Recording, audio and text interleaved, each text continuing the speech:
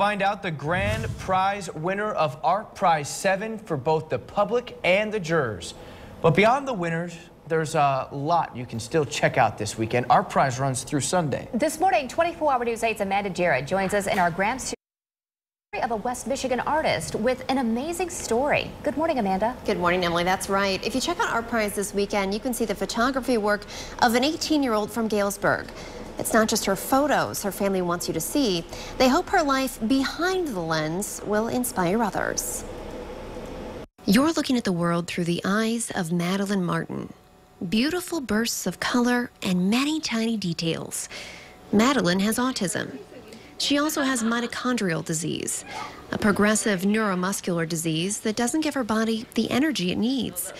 There's no cure, but even with IVs and a decade or more of doctors, it hasn't stopped Madeline from capturing everything around her through her photography. It's whatever you want to do is possible.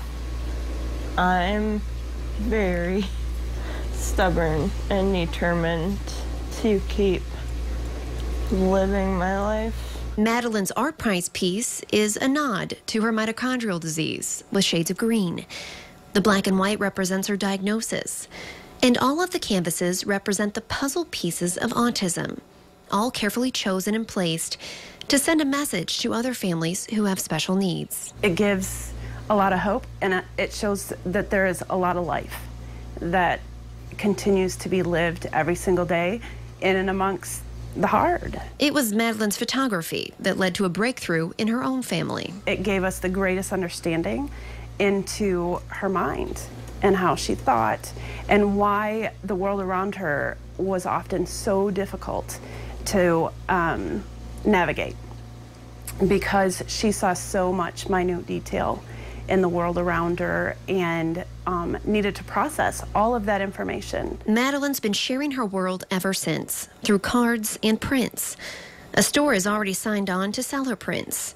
For Madeline, it's about being outside, enjoying every moment. On the fact that God kept me alive yes. to do it. Madeline is also showing her work at the Van Singel Fine Arts Center and Byron Center.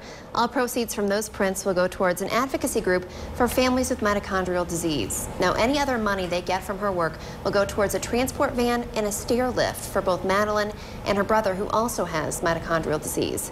You can see her art prize piece at the Boardwalk condos this weekend. Oh, I'd love to see that up close and personal. It looks beautiful. Gorgeous All the photos. detail. Yeah. Yes, she really has a, a great eye for photography. No formal training. She just picked up the family's camera at age 11, started snapping photos, and hasn't stopped. Nice. What a great story. And now helping others through that. Absolutely. She is so positive and just a great girl. Fantastic. Thanks, Amanda.